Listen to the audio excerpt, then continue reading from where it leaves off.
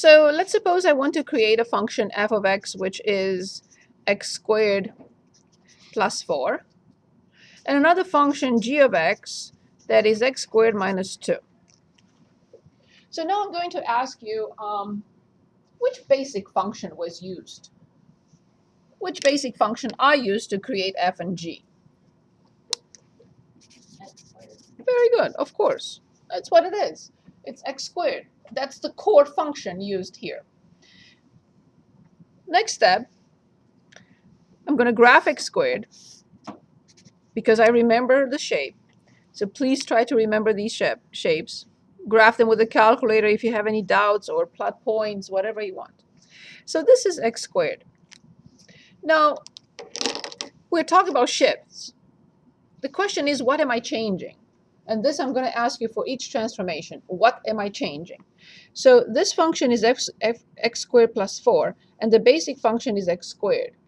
So there are two options. You can either say I'm changing x, or you can say I'm changing y. If you say I'm changing x from here to create that function, then the shift will be on the horizontal axis, right, on the x-axis. If you say I'm changing y, then the shift will be on the y-axis. So what do you think are we changing? Are we changing x? No, I see x squared and I see x squared. There is no change in x. So x squared is this graph. What do you think will that be? Up 4. Very good. It's the same graph, but this will be x squared plus 4. Up 4 units. It's a vertical shift 4 units up. Excellent. What do you think the next one will be? Function g, x squared minus 2. Of course. So down 2 will be this. So here's the graph of x squared minus 2. So down 2. And this is very clear. It's a vertical shift. The first one was vertical shift up 4. The second one vertical shift down 2. So this was a vertical shift. Okay, I'm going to use a different function now to illustrate the next transformation. So let's say f of x equals the square root of x minus 4 and g of x the square root of x plus 2. First, I have to identify the base function that was used, or base or basic, whatever you want to call it. So what was the basic function used to determine or create f and g? Very good, the square root of x. Excellent.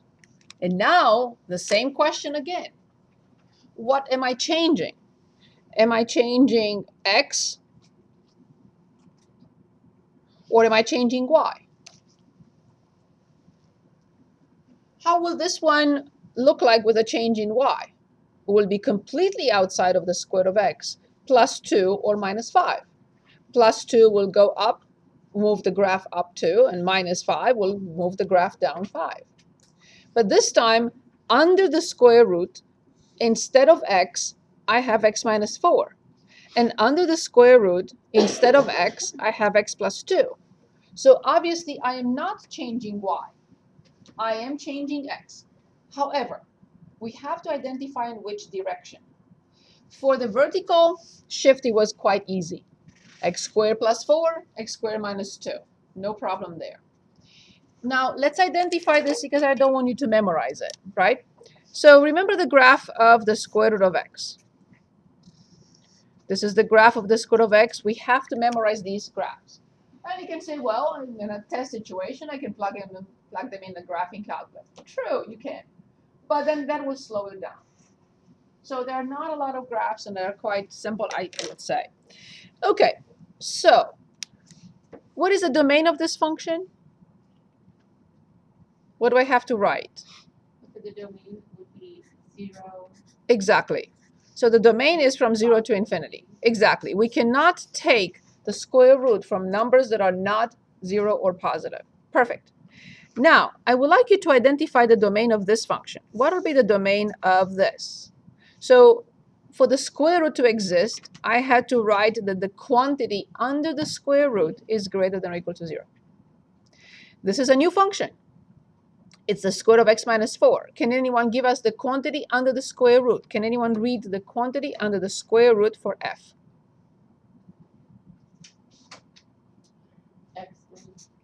Good. Then x minus 4 has to be greater than or equal to 0. When I solve for x, I get x greater than or equal to 4. So now, since the domain of f is 4 to infinity, you will tell me exactly where that function is going versus the original function, the base function. Where does it go? Where does x sort of Right? it was it goes right for indeed. The domain is 4 to infinity. 4 to infinity, right? So 1, 2, 3, 4, 4 to infinity. The square of that's the reason why we determine the domain for everyone to see where the function is going. And not memorize. Yes, I, I know you're gonna ask, okay, so then I when I change x into x minus 4, it goes to the right. Fine. You can remember it like that. That's okay. However, I didn't want you to memorize that. Okay, can anyone give us the first step of finding the domain of G? What will you write in order to find the domain of G? You will say, excellent, excellent. So then the domain of G is greater than or equal to negative 2. Therefore, I know where this function is going versus the base function, not versus this. These are two different functions. So what kind of transformation is when I change x into x plus 2? Where does the graph go in this case? Horizontal um, shift, left how many? Exactly, that's it. So this is the square of x plus 2. So when we change x into x plus 2, the graph moves to your left. When we change x into x minus 4, the graph moves to your right. How many units? 4. Yes. Um, why are we going horizontal? Because we're changing x. Every time we change x, we go horizontal. When we change y, we go up and down. See, see the comparison? x squared did not change.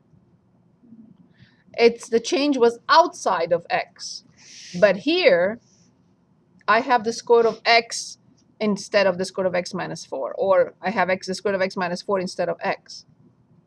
If this, the answer, if I had a function like this, then it would have been down 4. This does not touch x. Negative 4 does not touch x. It touches y. So when we change x, we go left and right. When we change y, we go up and down. That's why I will always ask you that question, and you should always ask yourself that question. What am I changing? In order to identify. Okay, now I would like to work on a combo. For example, f of x equals the absolute value of x minus 2 plus 4. What is the base function or the basic function used here? It's absolute value. Awesome. So the basic function is the absolute value of x. But this time, the first transformation, remember, I should write it down.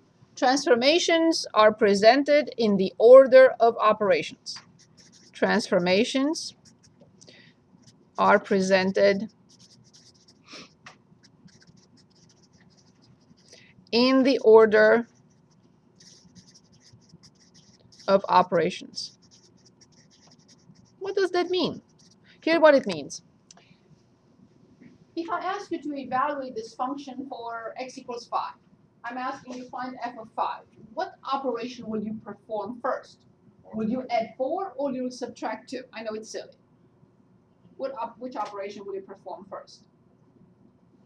Left to right. You will subtract 2 first. You can't go to 4 before you subtract 2. So that's the first transformation we have to present. After you're calculating this, then you will add 4. And that's the second transformation we have to present. Am I making sense? Yes. That's how we, when we evaluate, right? If I say 5f of 4, you will put 4 in here, but will you add 4? No, you have to do 4 minus 2 first. And then you're adding 4. That's the correct sequence of operations, correct? Yes. Good. So then the first transformation will be the absolute value of x minus 2. What type of transformation is it? Am I changing x? Am I changing y? You're changing X. Good. And where does this graph go? To the Right. how many?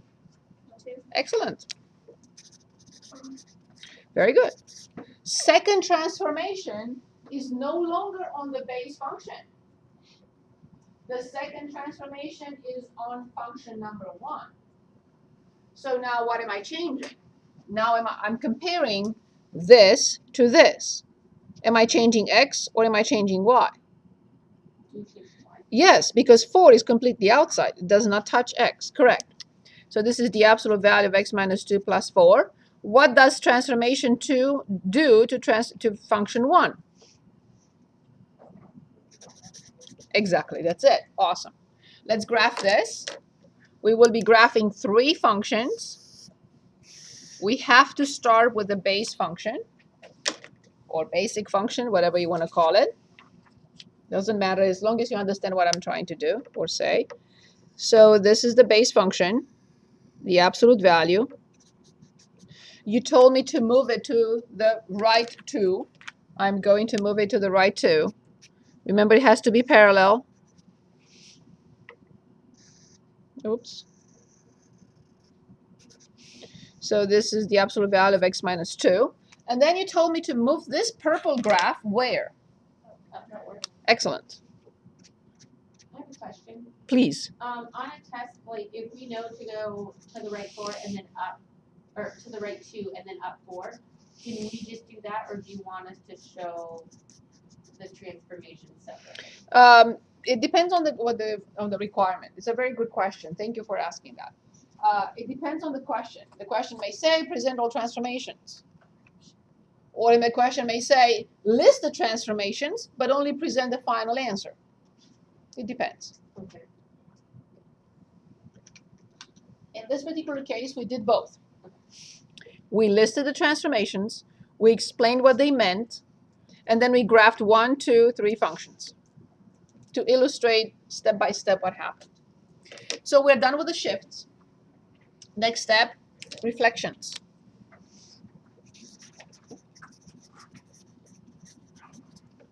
Reflections.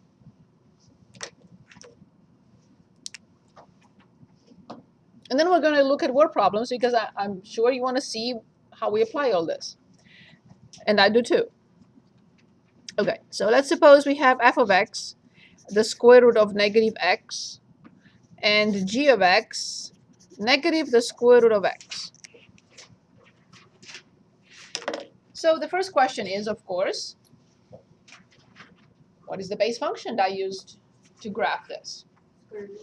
Of course, the base function or basic function is the square of x. Perfect. My next question would be, after I identify the function that it was used, then I ask myself what?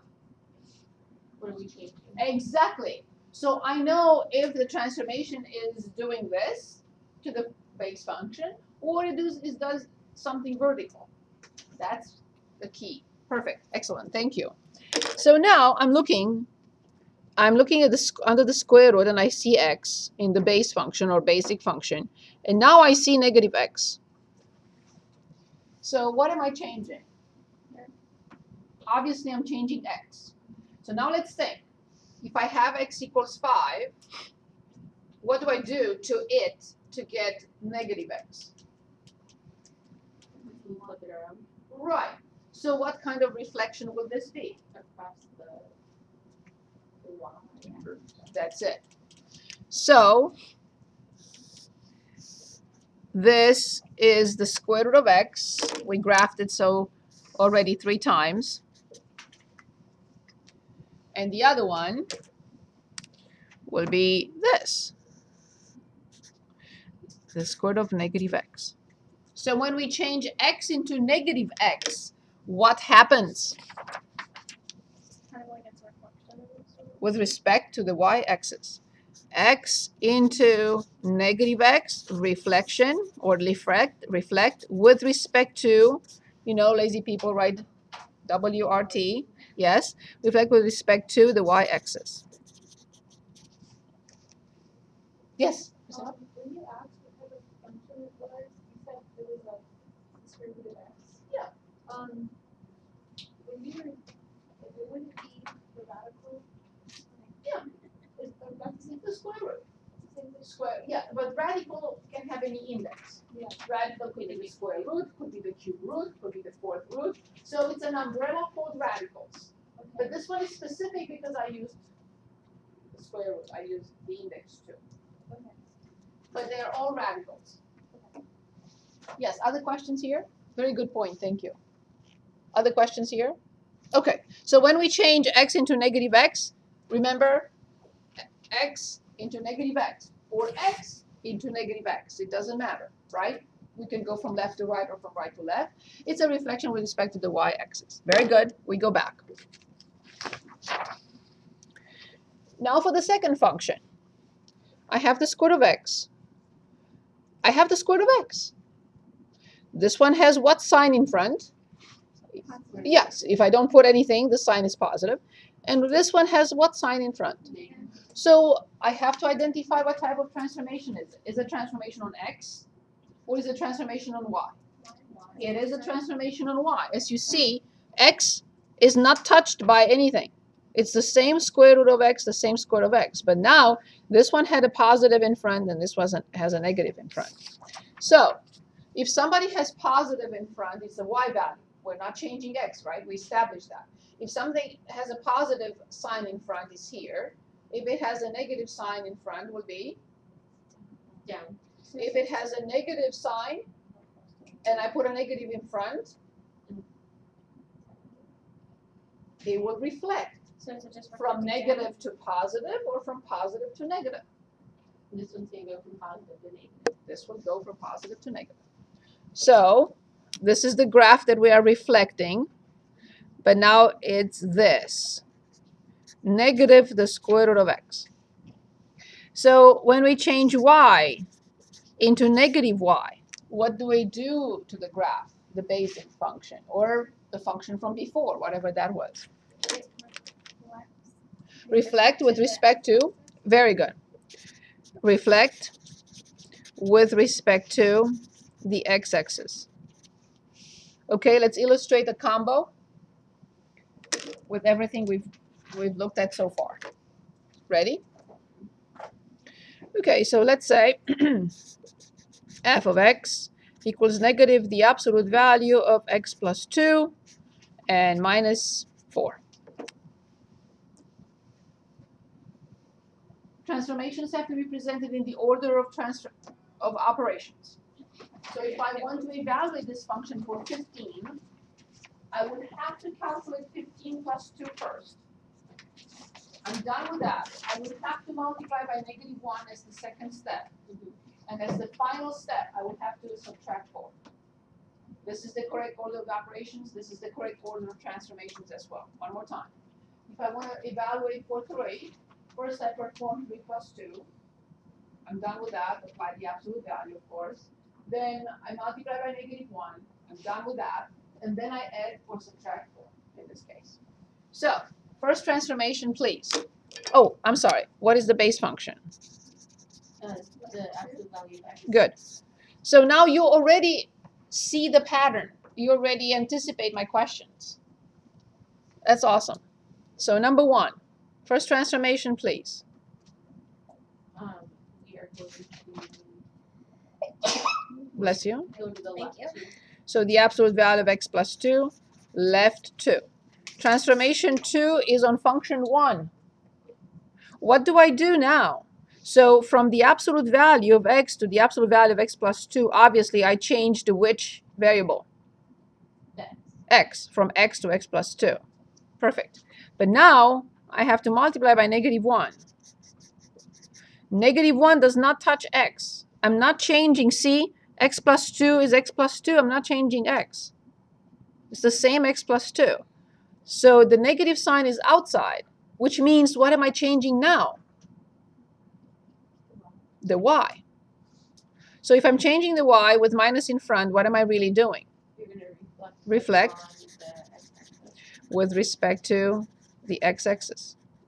Finally, In transformation 3, I have negative the absolute value of x plus 2 and minus 4. What am I doing to, prop, to function 2 now? Obviously, I'm not changing x. It's the same thing.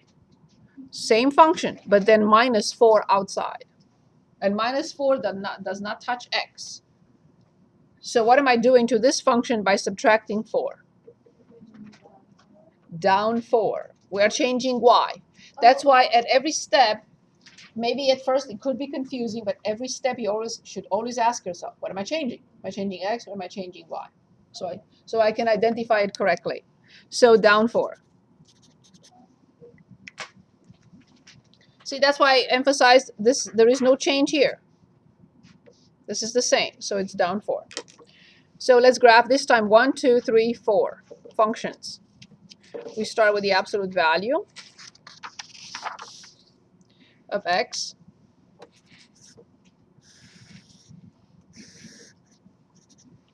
And here it is. We already graphed this like four times. So this is the absolute value of x. Then you told me to shift it to the left too. We're shifting it to the left too.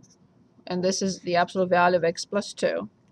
Now you understand that these graphs are not meant like in your book. In your book, I disagree with that. They're not meant to be exact. They're meant to give us a quick shape. They're not meant to be accurate, 100% in points and stuff. No, they're only meant to give us the idea of what's behind it. Okay, so we graph the second one, and then um, you said to reflect. Okay, I'm going to reflect this particular one. Here it is. I'm reflecting it. So this is negative the absolute value of x plus 2. And finally you said that I had to move this where? Down four. Perfect. So 1, 2, 3, 4, down 4. This is the final graph. Negative the absolute value of x plus 2 minus 4. So now quickly I can identify this is not a perfect graph, it's not an accurate graph. Can you identify the range for this? For the final one? Of course. Please. Oh, no, I have a question. Please. So on a test, if we were graphing this, we only choose to graph the final one, not all of it? All of them, depending on what the problem is asking. You may be asking list and just present the last one on the graph, or list them and present all transformations. It depends on what the problem is asking us. So can we identify the range for the final graph only? Negative four to negative infinity. Careful. We always read from below to So above. negative infinity to negative four. Perfect. So the range is indeed negative, oops. Please do not ever use, per- I, um, by mistake, I put a bracket. Do not put a bracket at infinities. Only parentheses. Good, very good. The last set, oh, actually, we have two more. Okay? Vertical, shrinking, horizontal. Oh, yes, because the point exists, it's not open. So vertical shrinking um, and stretching. I'm going to erase this one. We have two more, but I promise to move this one to the next test because we have enough material.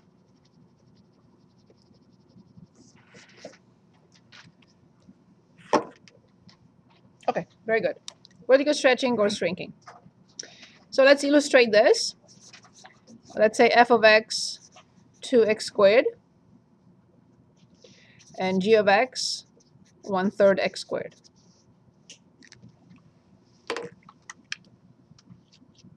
Which base function did I use to create these two?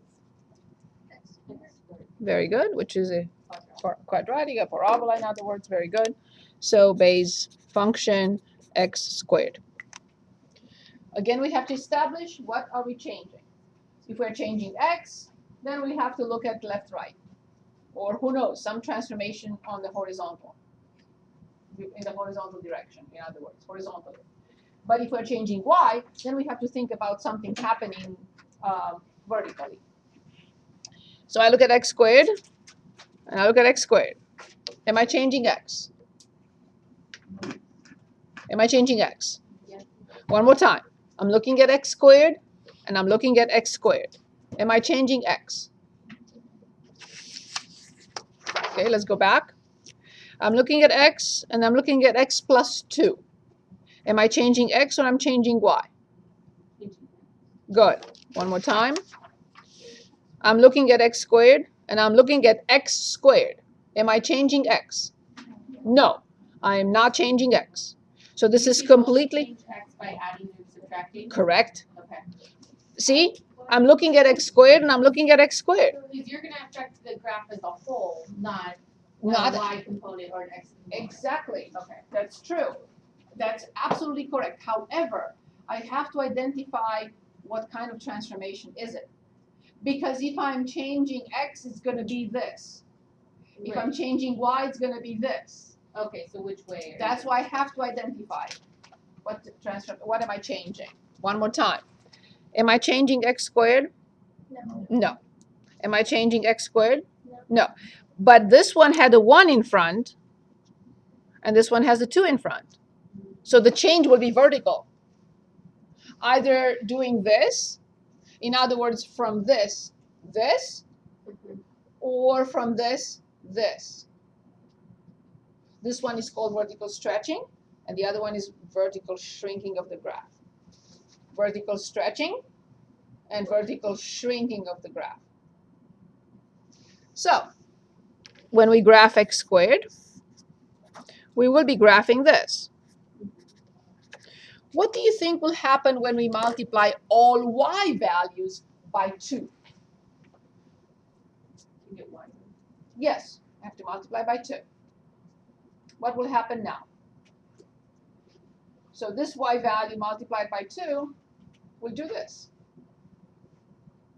Right? Say it again. gonna go all ways, so it's gonna just be like not going, it's gonna go out. It was going to be, no, not out. So when, let's, let's, exactly. So let's illustrate with a point. So let's say for this function, when x is 2, how much is y? For this function. Four. Very good. Now let's identify for this function, like we did with the shifts. For x equals 2, what will this function be?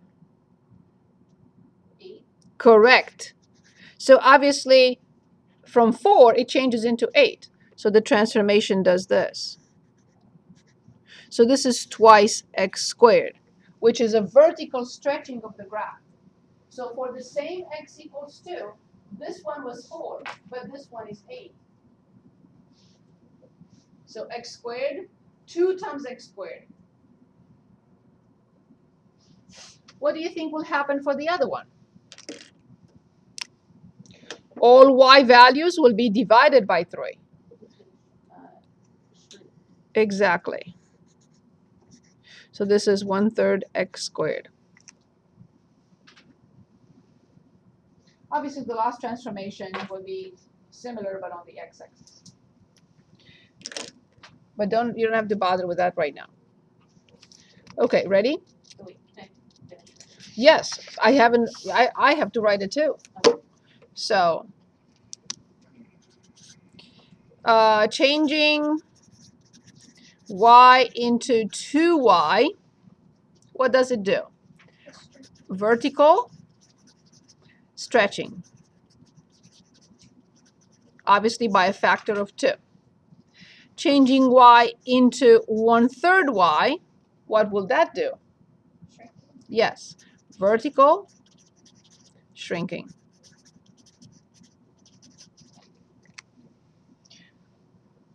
Let's look at the combo, and then we will choose problems from your book. Ready? Let's say we have f of x negative 2, the absolute value of x minus 3, plus 4. This time, I want to add another question. So here is here are the requirements for this. Number one, find x and y intercepts algebraically. Find the x and y intercepts algebraically. And question number two, graph using transformations.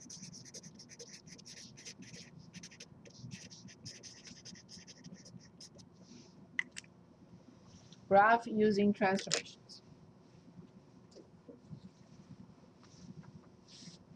Ready? Good, so let's answer the first question first.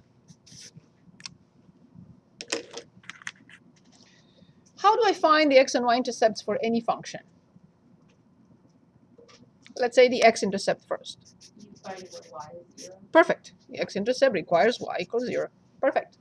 So I replace f of x by 0 because it's y. 0 equals negative 2 x minus 3 plus 4. Because I'm sure you were asking yourselves, well, okay, she taught us how to solve absolute value equations. What for? Here's an example. Here's an application. Okay, so how do I solve this equation? What type of equation is it? An absolute value. Of course, once I say absolute value, it has to be absolute value. Good. So, Subtract one. awesome. Do you mind if I put this to the other side instead of moving 4? Same thing. Very good. Same thing. It's the same thing. You don't Well, have to change have on that side. Correct. Correct, that's why. Very good. Now what? Um, Very good. So the absolute value of x minus 3 equals 2. And now I have to dig deep. Remember, we know how many how many different we we listed them. How many of them? There were eight, eight different equations, different types of equations. Okay, what do I do now? How do I think about it?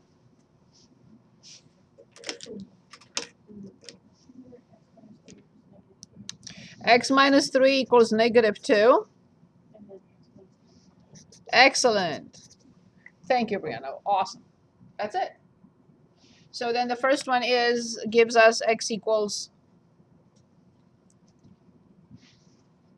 Very good. And the other one gives us x equals. Excellent. Thank you, Tiffany. Great job. Okay. So I found the x-intercepts. Now, can anyone give them to us in an ordered pair format? Because that's what I'm going to plot. I'm not going to plot 1 or 5. one zero That's it. five zero. Thank you. Perfect. Okay, now I want to find the y-intercept. How do I find the y-intercept for any function, including this one? Make x zero. Excellent. Very good. So, I'm happy with whoever inve- invented this was a smart man, woman, whatever. Okay, so uh, indeed, x equals 0. Let's do this together, please. 0 minus 3. Negative three. The absolute value of negative 3. is gonna be three. 3 times negative 2. Negative six. Negative 6 plus 4. Negative three. That's it. Can anyone give us the y-intercept in an ordered pair format? Perfect. We completed we completed part 1 of the question. Now we are asked to graph using transformations. Let's identify the base function. What was the base function that I used to create this? Excellent. Thank you. Cool. Excellent. Good. Uh, first transformation, please. In order of operations. Analyze the function and say, okay, if I'm asked to evaluate for 15, what operation will I perform first? And that will be the first transformation.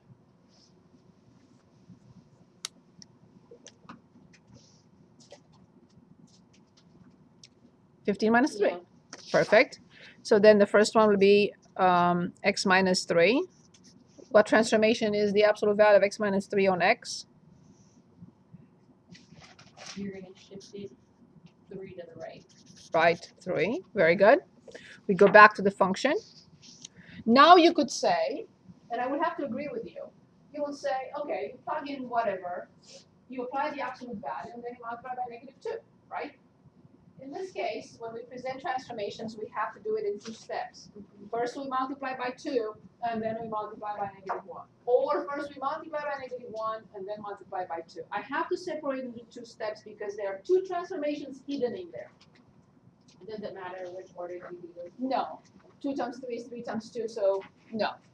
So what I would do, I would reflect first yeah. and then stretch. So I recommend as step number two here is negative the absolute value of x minus 3, which is a reflection. Reflect with respect to the x-axis. We're multiplying outside. Oh, because you're. It doesn't touch X. So we. It doesn't touch x, it touches the function outside. Good. And then number three is negative 2x minus 3. Always note that number one is a transformation on the base. Number two is a transformation on one. Number three is a transformation on two. So what did I do to graph two to get transformation three? You're gonna stretch it. Yes, because it was this way and then reflected, but now I multiply by 2. It will stretch the graph by a factor of 2. So it's a vertical stretch. Stretch by a factor of 2.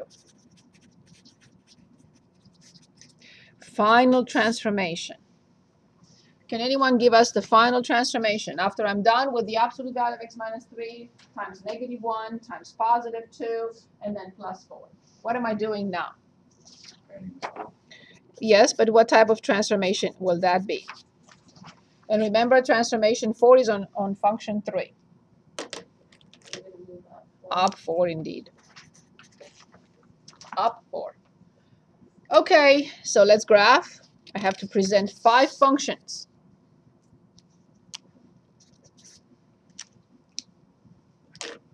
First, the absolute value. Here it is.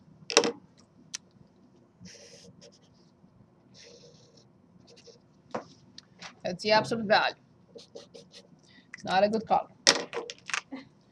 Too light. No one can see. Good. Then you told me write three. Fine.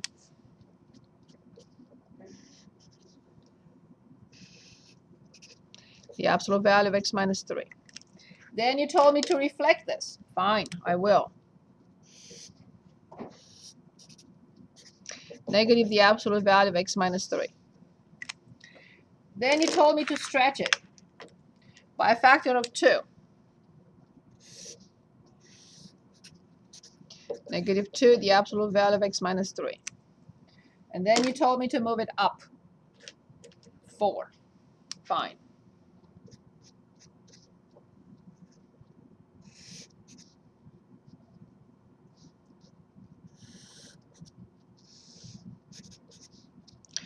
So this is the final graph. And now the moment of truth. Is my graph close? Maybe, maybe not. I don't know. Does it cross the x-axis in 1, 5? No. I missed it. It should have been here. 3, 4, 5, maybe that's okay. And 0, negative 2. I grossly missed it. But that's my point. I need the shape. I want the, I have the shape. That's all I care about. Now I can make the adjustment. I'm not going to cross out. I'm not going to erase anything there. Since I know now, where is this point? That point is. It's at is at 3, comma 4. 1, 2, 3. 1, 2, 3, 4. It crosses at 1 and negative 2, 4, 5. Because now I can make my correction. This is the correct graph. And it's negative 2, x minus 3, plus 4. So transformations are not supposed to be accurate, are not supposed to take a lot of time. They're supposed to just give us a shape, boom, boom, boom, quickly. But yes, once I have and I determine, that's why I asked to determine the x and y intercepts first, is to show that there is no way when I graph transformations, the point is just to come up with a shape. It's not to create